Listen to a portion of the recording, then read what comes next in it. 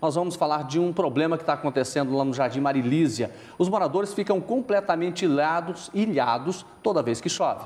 Toderval, Luciana, manda uma equipe aqui, por favor. Nós temos uma rua que está toda no buraco.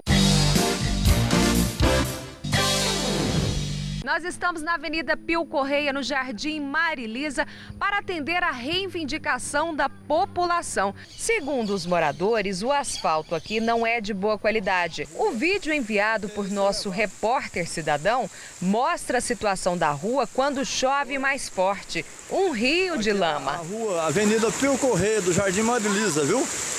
Essa é a situação do nosso bairro. Olha o que, olha o que acontece.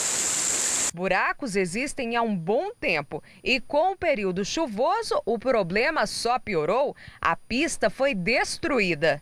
A água desce com toda força. Todo mundo fica apavorado, ninguém sai de casa. Ninguém, porque é uma coisa assim absurda. Outro problema é a falta de boca de lobo. Não tem para onde escoar água.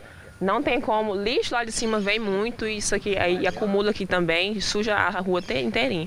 Sem falar a sujeira também que vem, né? Lá de cima.